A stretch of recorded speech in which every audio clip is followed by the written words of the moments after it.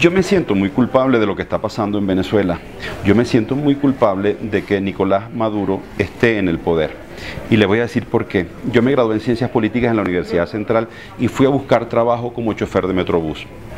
Y bueno, mm, porque no tenía oportunidades de empleo y me llamaron de la compañía Metro de Caracas para manejar un autobús. Pero en ese interín me salió una beca y me fui a estudiar a la universidad y llamé a la compañía para decir que no podía aceptar el trabajo. Tacharon mi nombre, mi apellido Márquez y llamaban al, llamaron al que estaba antes por la M, Maduro. Es decir, yo cambié el destino de Venezuela. Si yo me hubiese quedado en la compañía Metro de Caracas, probablemente sería yo hoy el presidente de Venezuela y Maduro estaría, eh, qué sé yo, frente a una cámara haciendo stand-up y haciendo comedia, que le quedaría mucho mejor a él hacer comedia y quizá a mí ser presidente de la República. Bueno, esas cosas pasan.